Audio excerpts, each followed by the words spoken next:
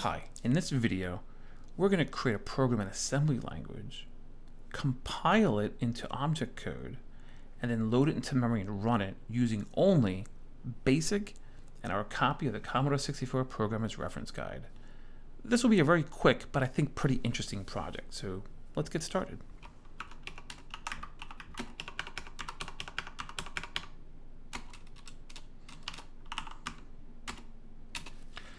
An interesting thing about the 6502 processor is each instruction that it processes is either one byte, two bytes, or three bytes. So on a single line of BASIC, we can represent an instruction and the parameters that need to be passed into it. So let's start writing our code.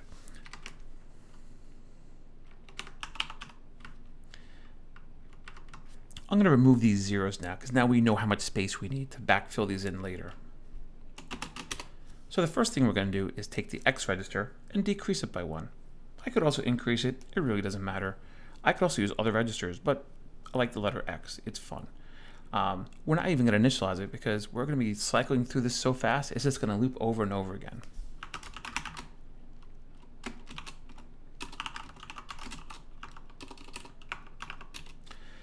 This line of code is going to store the X register in memory just D020. In decimal, that's 53 to 80, and anything you store in that memory location changes the border color to that color.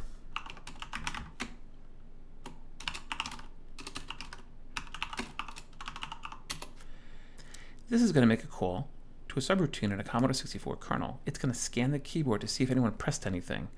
If they do press something, it puts that key value into the accumulator. If, they've, if there's nothing there, we get a zero in the accumulator.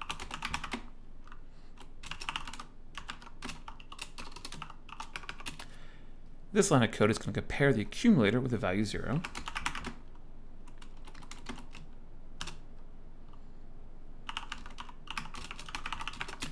If there's a 0 there, we're going to branch up to the first line of code, that DEX.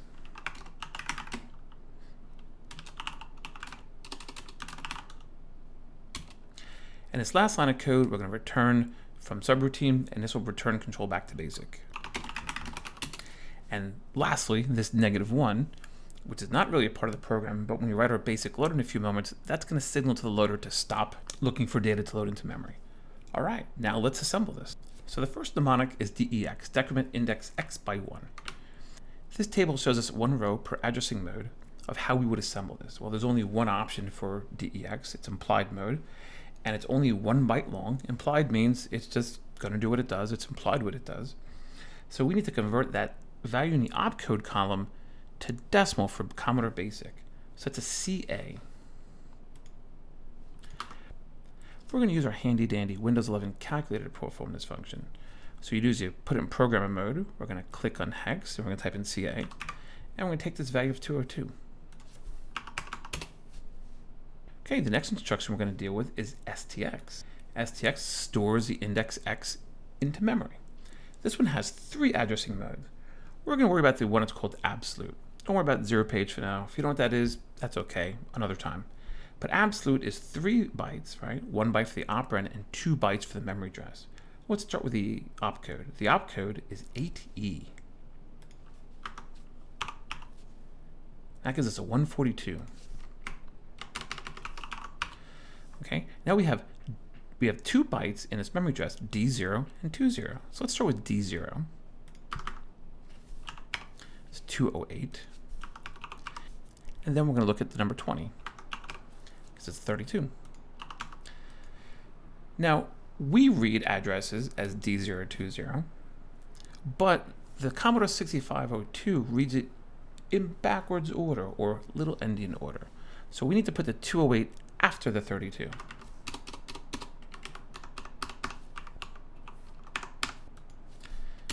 Excellent. Now we're going to do something very similar with JSR. So JSR is jump to new location, saving the return address. Only has one uh, addressing mode, uh, which is absolute, and just like STX, where it's a memory address. And the opcode is 20, so let's convert that. Oh, there we go, 32. I know FF is 255. And then E4. And again, we need to flip these around to put it in little endian order.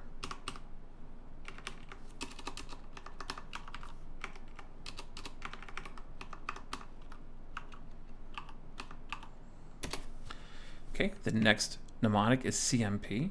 And as you can see, this compares the memory and accumulator. This one has a whole stack of addressing modes. But we care about is that first one, immediate, it's two bytes long. So all we need is the opcode and the zero that's right next to it. So let's start with C9. That's 201 and zero. Pretty straightforward. Now the next one's a bit tricky. This one's called branch on result zero, and the addressing mode is relative. Let's first do the easy part. That opcode is F0. Now let's talk about the addressing mode. This is using relative addressing mode. What does that mean? Me put a placeholder zero here for a moment. Relative addressing mode means we have to give it a one byte value, so it's 0 to 255, uh, in, in one of two directions, forwards or backwards in memory. So the number of memory addresses forward or the number of memory addresses backwards. Well, we only have one byte, uh, so the byte is actually split in half.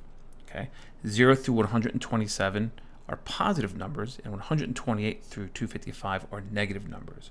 So first we need to count how many bytes backwards we need to travel to get to DEX. And you include both values that are in this opcode. So we can go 1, 2, 3, 4, 5, 6, 7, 8, 9, 10, 11.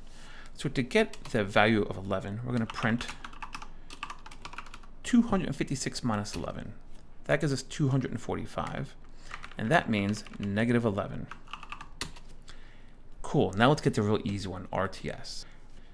RTS, return from subroutine, is also only has one addressing mode implied. So all we need to do is convert that opcode of 60 to decimal. To 96.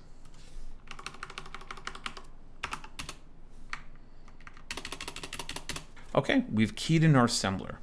Now we need to write a piece of code that's going to load those data statements into memory. Okay, so here we go. I'm to make a variable called PC. That's to stand for program counter. We're to make a variable x because we're to start at 49152. We're to read all these data statements and we're to poke it into memory.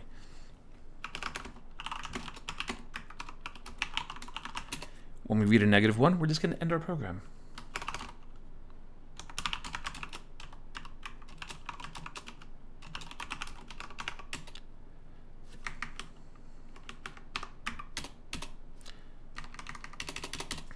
All right, let's save it before we run it.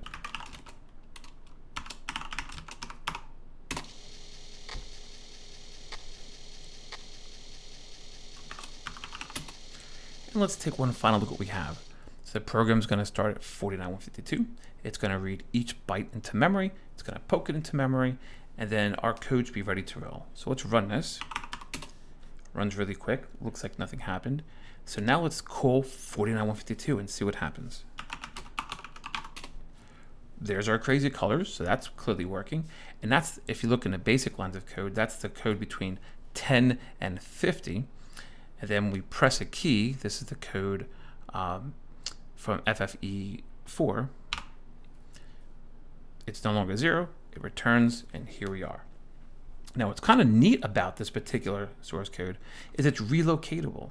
We can kind of load it anywhere. So let's load it into another place like 32768.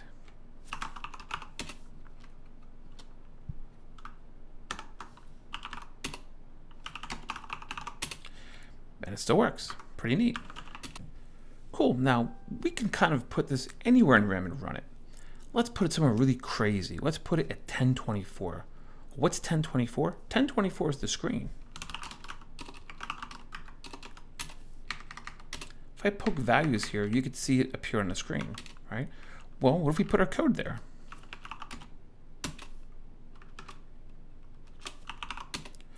You get some garbage on the screen and I can run it. That garbage is the code. So you can put machine language code kind of anywhere as long as it remains untouched while it's running. And if I remove this code,